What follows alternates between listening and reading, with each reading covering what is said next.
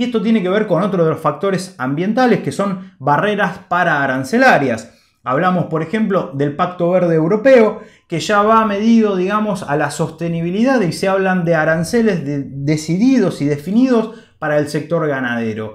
Esto el día de mañana se va a transformar quizás en un problema. Ya sucedieron algunas que otras cuestiones con respecto sobre todo a la alimentación en la cuota Hilton, pero que tienen que ver con los sistemas productivos. Nos lleva al segundo, si se quiere, de los desafíos que tiene el sector dentro de la sustentabilidad.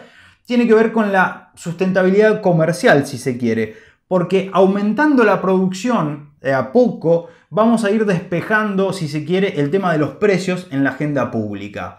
Aumentar la producción, yo sé que lo que estoy diciendo es muy complejo y difícil y que hay un montón de factores que entran en esta decisión de aumentar o no la producción, una Argentina que constantemente entra en crisis, pero la idea de poder aumentar la producción es contar, digamos, con todas las herramientas para mantener firme el mercado local sin importar los vaivenes económicos y obviamente ampliar las exportaciones.